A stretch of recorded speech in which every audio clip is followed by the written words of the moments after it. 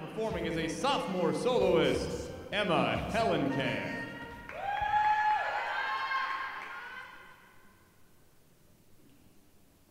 Everything's gonna be alright, she whispers to herself. She was only six years old the night as she hid behind that shelf.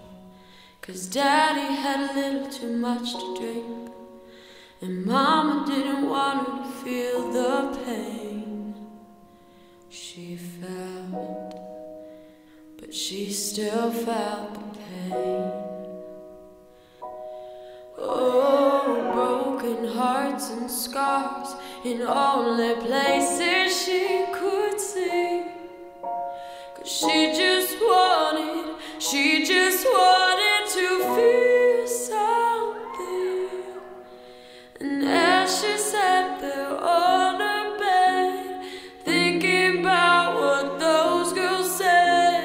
tears stream from